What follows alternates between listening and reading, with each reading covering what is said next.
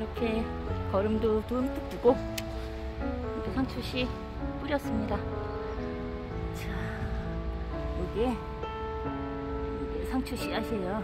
이게 청 청상추 마트에서 시장에서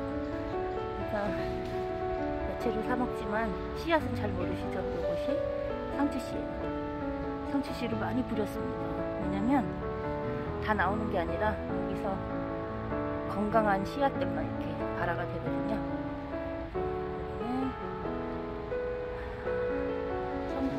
청치마 상추 여기는 적상추, 빨간 상추.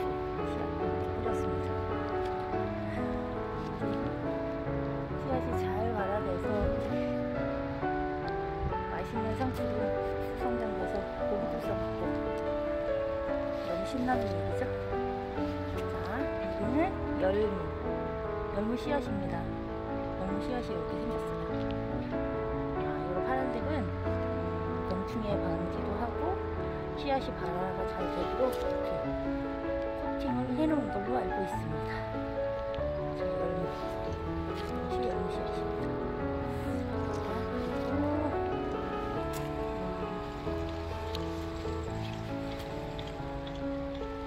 많이 심었어요. 열무, 열무 김치도 해놓고 요거는 순양이 순양이 무슨 열무라고 하더라고요. 잎이 넓은 요 열무도 김치뿐만이 아니라 이것도 열무 잎을 고기 싸먹고 상추 싸먹듯이 싸먹으면 굉장히 맛있어요.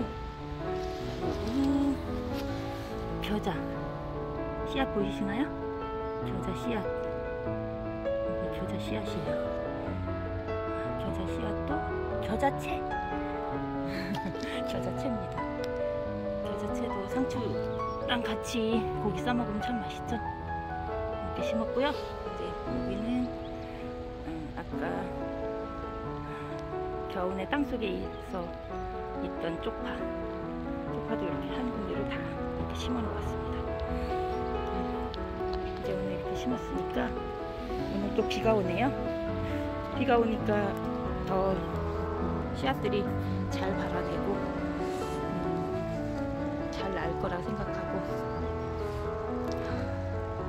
잘 자라겠죠 자 소박한 농부였습니다